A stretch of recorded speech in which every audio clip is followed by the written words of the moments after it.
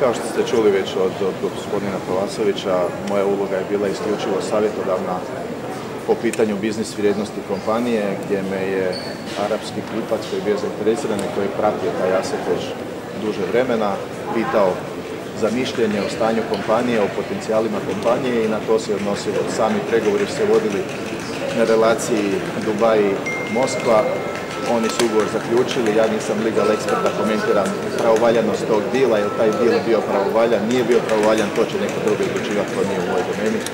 Ja sam, kažem, odradio ono što smatram da kao biznis ekspert, na kraju krajeva radio sam, ne znam koliko su trebali pitati, ja već duže vremena boravim u Dubaju, imam kompaniju tamo, imam svoje neke poslovne interese u Dubaju, radim, ulažem, investiram, prema tome, pa da se boji vjerojatno bi ostao u Dubaju.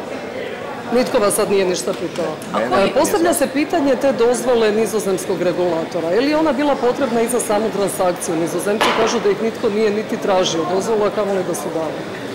Ponavljam da ja nisam legal ekspert, e, teško mi je to komentirati, mislim da ne je bilo ono umjesno da ja komentiram stvari koje zaista ne razumijem. Po tumačenju njih transakcija je odrađena, znači struktura transakcije je arapski investitor kupuje firmu DOO faktički u Moskvi koja je nosilac akcija u holding kompaniji Toko Holko u Amsterdamu. Oni tvrde da za tu transakciju imaju puno pravo, da im zato nije trebalo niče odobrenje. Za odmrzavanje aseta dalje oni idu taj drugi dio transakcije, odnosno drugi korak koji rade timovi e, stručnjaka, pravnih stručnjaka koji se nalaze u Beču, Londonu, Dubaju,